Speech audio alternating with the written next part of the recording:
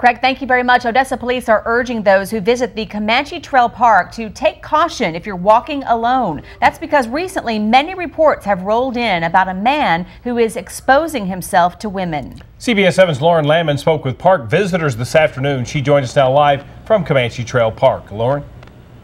Jay Tatum, an afternoon stroll in the park isn't proving to be as stress-free as it once was. It all started out as a man just simply exposing himself to women. However, Odessa police say he's become a little more brave and is now approaching them along the jogging trails of Comanche Trails Park. He must be sick in the head. I don't come in alone, never, because I'm scared. I don't ever come out here without a man with me.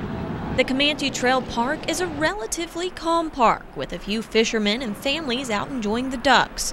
But reports from police stating that a Hispanic man has started exposing himself and approaching women has park goers concerned. That's pretty creepy because uh, I want people to come out here and enjoy themselves out here, not come out here and have weird things happen. Jadon Midkiff says he and his buddies come to the park every day for a little stress release and a game of frisbee golf.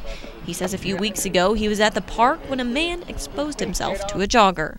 Uh, he was sitting out here at the gazebo out here, and uh, we saw the lady walk, but we didn't know what happened. Uh, we just saw her come up here and get on the phone, and then she left. And then about this time, this gentleman left, and then the police showed up just a few minutes later. Jadon says since that day, he and his friends have been on high alert. We've been looking for him out here. We're out here every day.